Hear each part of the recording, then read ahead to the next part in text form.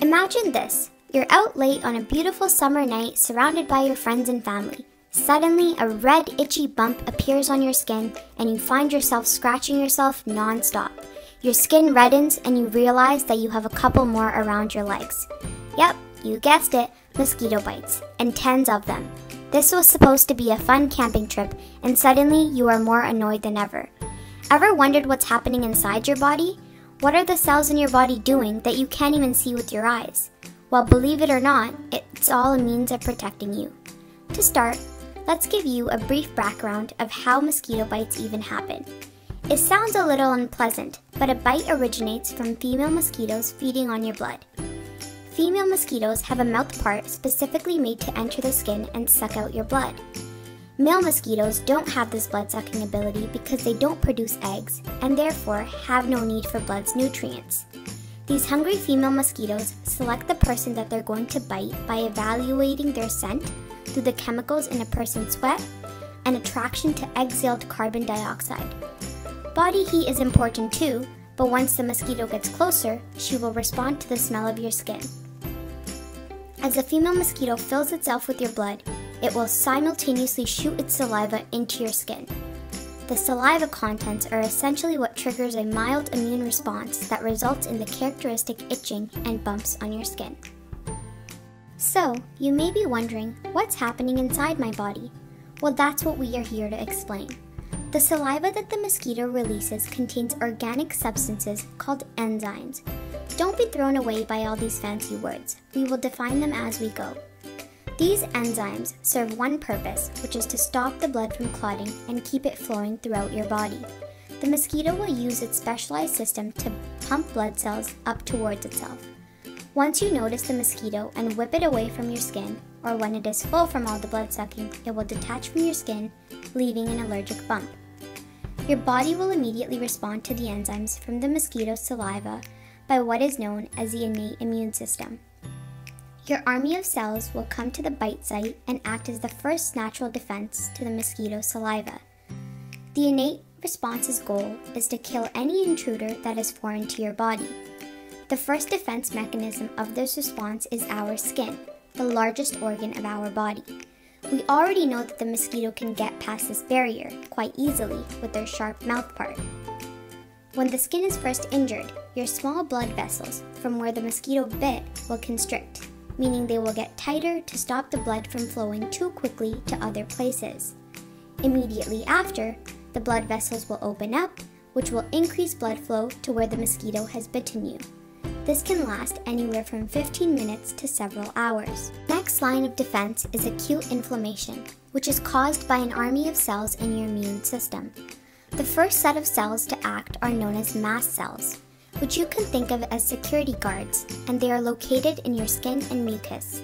When they find something suspicious, so in this case the mosquito saliva and its enzymes, the mast cell releases a signal in the form of histamine molecules.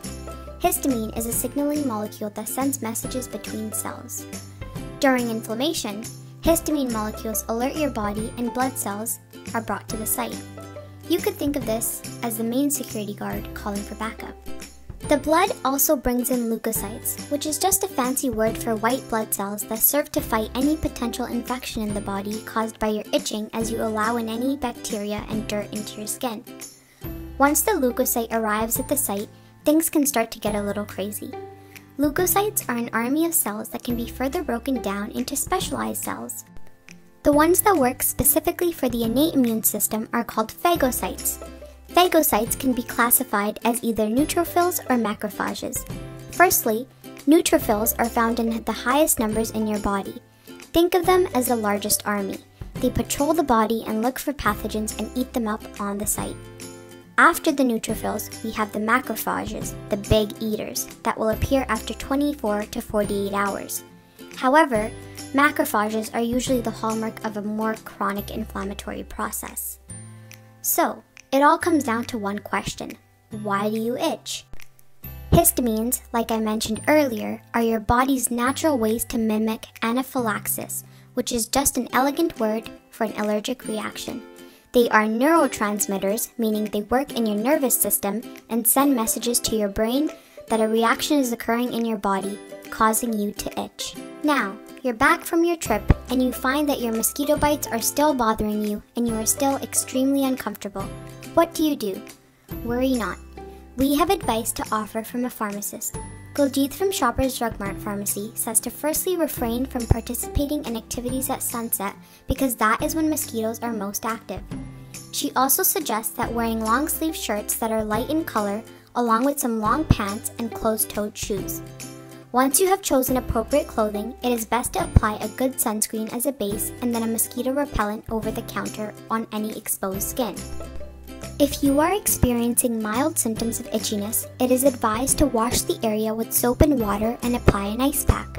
You could also apply Benadryl cream, an antihistamine that reduces the itching, or even calamine lotion. If you are experiencing moderate symptoms, you can also purchase 1% hydrocortisone cream over the counter, which will work to reduce your swelling, itching, and redness. You should also monitor for symptoms and improvement. Lastly, if you are experiencing severe symptoms, you may require an EpiPen, but it would be best to see a doctor, perhaps through the emergency room.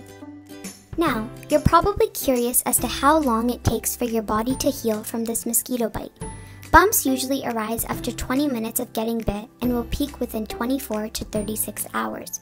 Most times, the bumps and itchiness can last for several days to a week. Next time someone gets a mosquito bite, you can use your knowledge of innate immunity and the fighter cells that take care of you. We hope that this activated your curiosity for the natural things that you experience on a day to day basis and think about the science behind it all.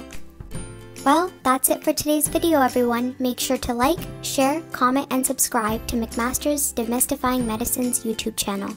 Thank you.